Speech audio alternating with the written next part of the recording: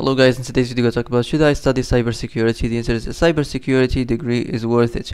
So that's for today. I hope this is the answer you've been looking for. If you like this video, don't forget to like and subscribe and see you in the next video.